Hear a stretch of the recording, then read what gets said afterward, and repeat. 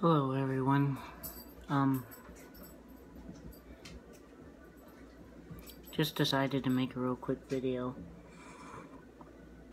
Um it's more along the lines of a RIP video. Um a while back at the one job I was working at, um I had gotten a rabbit for my wife as a gift. Um, this was way back in 2011. Um, his name was Thumper. I never really showed you guys him. Um, but this morning we were woken up and told that he was gone. Um, if you've seen my Facebook, there's a few pictures on there of me holding him and all that. Um, but yes, he is, he is passed.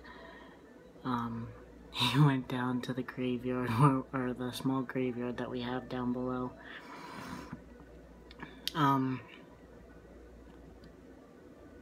I marked off his grave with a stone. I have all the other ones marked with either sticks or stones, whatever I could find. Um, he was a very, very good bunny. Um, he enjoyed getting outside. We didn't really let him wander by himself. Um, but, yeah, I went and dug him a hole and buried him today, this morning at like 6.30 in the morning. Um, but yeah, he was, he was a good rabbit, a good friend.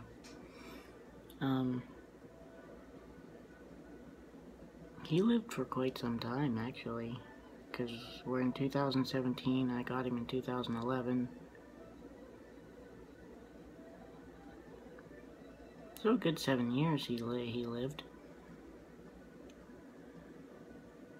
Um, but yeah, he uh, he passed this morning.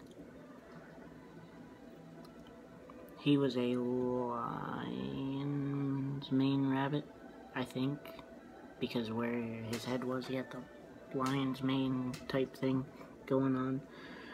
Um,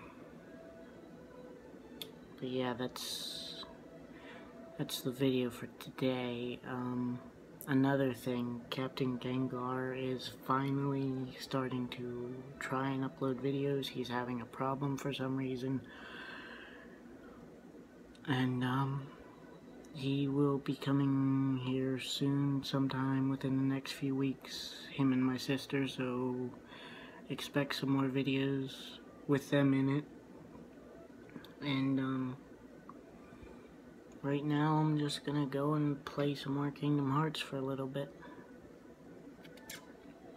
But, uh, yeah.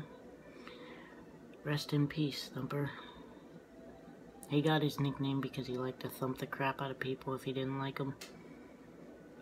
But, he was a good rabbit. Now it's time to tear down his pen. or his chicken coop rabbit pen thing.